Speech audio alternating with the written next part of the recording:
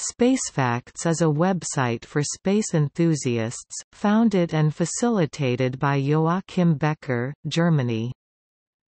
The website lists all human space flights, including crew photo, mission patch, a short brief, what happened during that flight, crew members, flight duration, orbits, EVAs and more, but also biographies of all human space flyers, from all over the world and even the candidates semifinalists.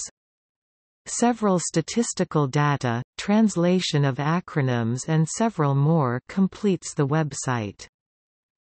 Spacefacts was founded by the German space enthusiast Joachim Becker from Mainz in December 2000. He is supported by Heinz Janssen from Wittmund.